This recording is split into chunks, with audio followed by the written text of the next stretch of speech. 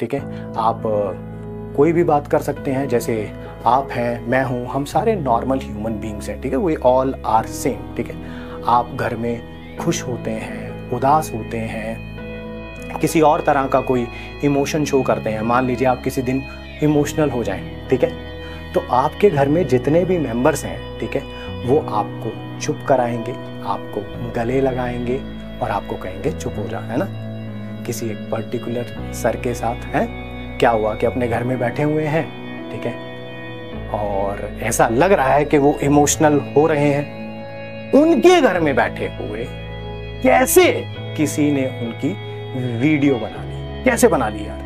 आप अपने घर में इमोशनल होते हैं तो क्या आपके घर पे आपकी वीडियोस बनाई जाती हैं? मैं अपने घर पे इमोशनल होता तो क्या मेरी वीडियोस बनाई जाती हैं? क्या अलग सर अपने घर पे इमोशनल होते हैं तो क्या उनकी वीडियोस बनाई जाती हैं? नहीं बनाई जाती। वो कैसे किसी ने किसी टीचर के घर पे बैठे हुए, चेयर पे बैठे हुए एक वीडियो बना ली?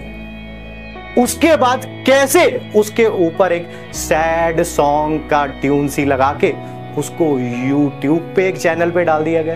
कैसे हुआ वो? कैसे हुआ? क्या ऐसा हो सकता है? क्या आपके साथ ऐसा हो सकता है? क्या मेरे साथ ऐसा हो सकता है? क्या अलग सर को पिछले इतने सालों में क्या सर कभी इमोशनल नहीं हुए होंगे? डेफिनेटली हुए होंगे we all are human beings but क्या वो वीडियोस हम लोग यूट्यूब पे पोस्ट करते हैं? नहीं, ठीक है? हमारे पास बच्चों का अथाह प्यार काफ़ी है काफ़ी है हमारे सरवाइव करने के लिए, हमारे रहने के लिए, ठीक है? बहुत है ample amount of I would say it's a good mixture of money and प्यार, ठीक है?